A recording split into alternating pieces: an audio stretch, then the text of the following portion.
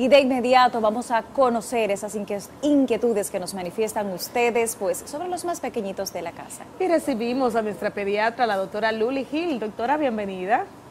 Muy buenas noches, como siempre, y digo cada semana, para mí es todo un privilegio estar con ustedes y poder llevar luz a esos padres y madres que nos sintonizan. Gracias por la oportunidad. Doctora, la primera pregunta inmediatamente, ¿qué es la fontanela? Preguntan esos padres, la fontanela en un niño.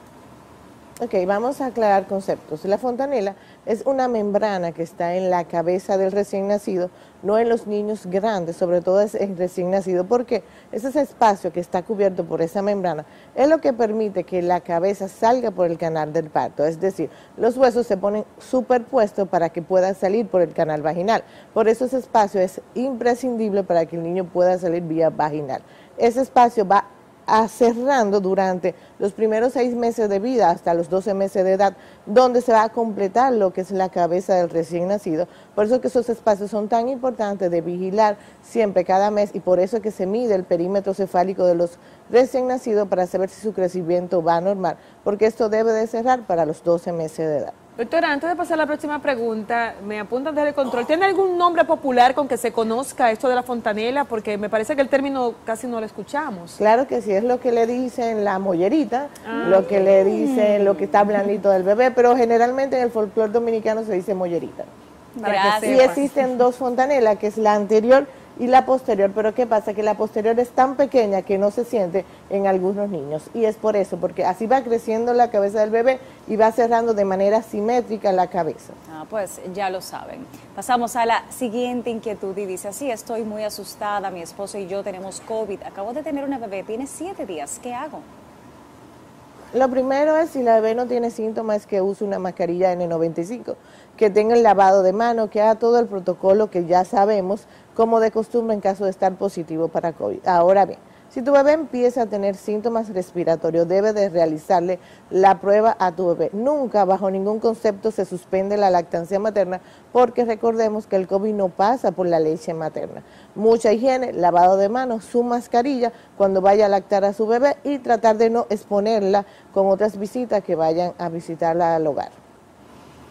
Doctora, la siguiente se describe como una madre desesperada. Dice, mi hija tiene tres meses y no evacúa, dura más de cinco días y tengo que ponerle supositorios. Solo la alimento con leche materna.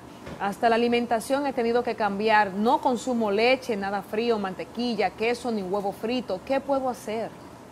Hay una palabra que tú me dijiste en tu pregunta. Tengo una lactancia exclusiva. Cuando tú tienes una lactancia exclusiva, el bebé puede tener un estreñimiento que no es funcional y puede durar hasta una semana sin evacuar y es totalmente normal. Ahora bien, si tu bebé tiene más de tres días y tiene dolor, tiene mucho malestar, tiene que acudir a un gastropediatra para que te ayude y te oriente en relación a la dieta que tienes que comer, que no tienes que comer y algunas frutas como la lechosa, el mango, la ciruela, que va a hacer que las heces de tu bebé sean un poquito más blandas al momento de lactar la niña, por eso te va a ayudar mucho lo que comes. Pero recordemos que una niña que se alimente a seno, solo seno, Puede durar hasta una semana y no pasa nada siempre y cuando no tenga dolor. Doctora, mi bebé prematuro nació de 29 semanas y no me aumenta de peso. Eso me tiene estresada ya que no le dan de alta en el hospital. No sé qué hacer.